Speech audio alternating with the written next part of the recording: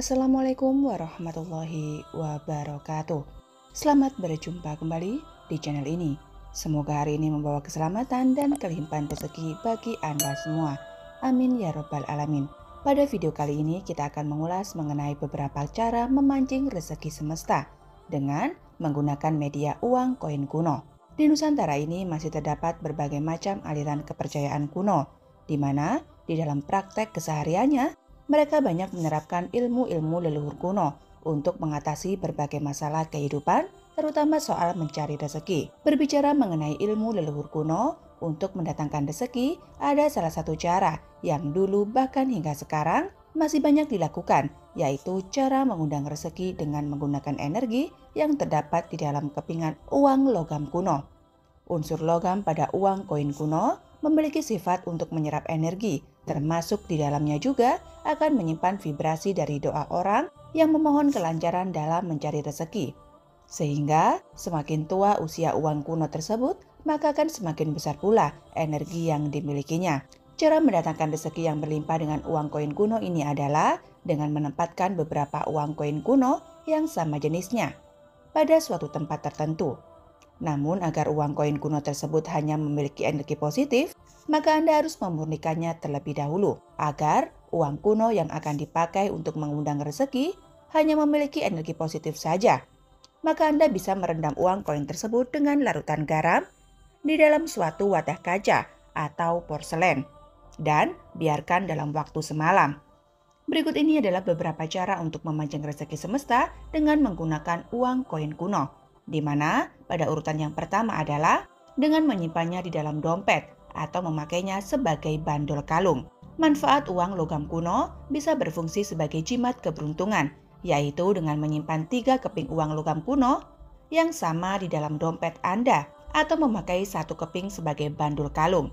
Simpanlah tiga keping uang logam kuno dalam satu sekat dompet yang sama.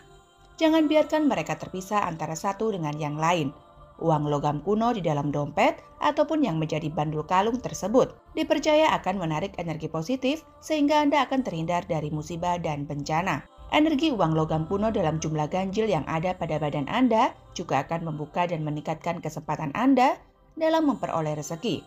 Namun agar semuanya itu bisa terwujud nyata, Anda juga harus mengimbanginya dengan berusaha secara nyata supaya tidak terjadi salah persepsi dan agar Anda juga semakin paham maka perlu dijelaskan bahwa uang yang kita pancing dengan uang koin kuno tersebut adalah sifat atau energi dari uang, jadi belum ada bentuk fisiknya. Sehingga agar energi uang tersebut bisa menjadi uang secara fisik atau nyata, maka Anda harus melakukan yang namanya ikhtiar atau usaha secara nyata. Cara memancing rezeki semesta dengan uang logam kuno urutan yang kedua adalah dengan menempatkan lima keping uang kuno tersebut pada kusen pintu rumah sebelah dalam.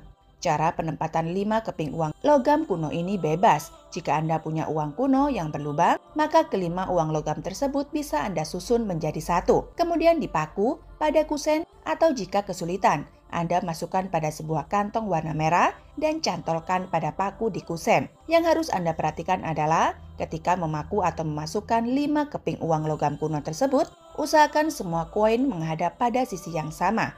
Dengan demikian, energi pada lima keping uang itu akan menjadi satu dan selaras. Maksud dari penempatan uang koin kuno pada kusen pintu utama adalah agar rumah Anda dan segala isinya terbebas dari yang namanya musibah dan kesialan. Pada tahun 2006, saat gempa besar melanda Jogja, banyak orang yang memakai uang logam 100 kuno pada kusen rumahnya. Uang logam kuno yang sudah dimurnikan memiliki suatu kemampuan untuk menarik energi positif, sehingga akan sangat baik jika ditaruh pada pintu utama rumah yang merupakan gerbang keluarnya masuk energi. Cara memancing rezeki semesta dengan uang koin kuno urutan yang ketiga adalah dengan meletakkan tiga keping di tempat penyimpanan uang ataupun di bawah keset di depan pintu utama rumah.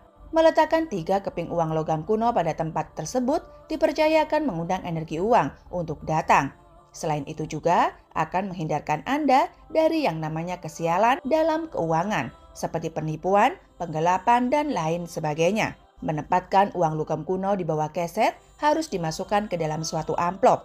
Lebih baik lagi jika Anda menggunakan amplop yang berwarna merah. Warna merah adalah warna yang bisa menarik energi kekayaan, sehingga jika dipadukan dengan uang logam kuno, maka akan sangat bagus. Jika Anda melakukan hal ini di tempat usaha, maka hal tersebut dipercaya akan mengundang energi positif, yaitu semakin banyaknya pelanggan yang datang dan melakukan transaksi.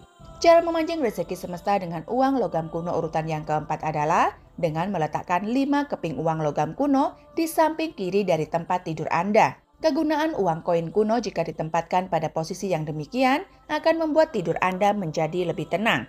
Hal tersebut karena di samping bisa memancarkan energi positif, uang logam kuno juga akan menyerap energi negatif. Meletakkan 5 keping uang logam koin kuno di samping kiri tempat tidur juga bagus bagi Anda yang sering mengalami masalah dalam kehidupan rumah tangga. Hal tersebut akan bisa meredam bentrokan energi yang terjadi dengan perasaan. Pada zaman dahulu, orang akan meletakkan uang logam di bawah bantal dengan maksud agar ketika roh jahat datang untuk mengirim mimpi buruk, roh jahat tersebut akan mengambil uang itu dan lupa dengan tujuan yang sebenarnya. Cara memancing rezeki semesta dengan menggunakan uang logam kuno urutan kelima adalah dengan mengubur 9 keping uang logam kuno di dalam tempat penyimpanan beras di dapur. Tempat penyimpanan beras merupakan lumbung padi di dalam rumah dan tempat penyimpanan beras yang terawat, serta selalu terisi penuh dengan beras adalah simbol dari kemakmuran dan kelimpahan rezeki yang menaungi keluarga Anda. Beras yang menjadi simbol kemakmuran tersebut bisa Anda tingkatkan energinya dengan mengubur 9 keping uang logam kuno di dalamnya.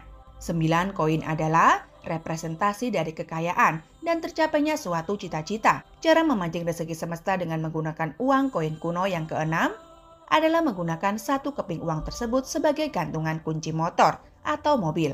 Pada sejatinya, semua rezeki dan keselamatan yang kita terima hanyalah bersumber dari pemberian serta belas kasihan Tuhan yang Maha Kuasa saja. Metode uang kuno ini hanyalah suatu perantara, menjadikan satu keping uang logam kuno sebagai gantungan kunci untuk kendaraan Anda dipercayakan menjauhkan Anda dari berbagai kesialan di jalan, seperti kecelakaan, modus kejahatan, dan lain sebagainya. Baiklah sahabat, demikianlah pembahasan kita kali ini mengenai 6 cara mengundang rezeki dengan uang logam kuno.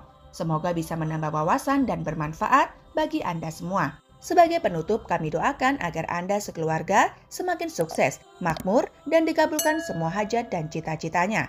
Amin ya Robbal 'Alamin. Wabillahi taufik wal hidayah. Wassalamualaikum warahmatullahi wabarakatuh.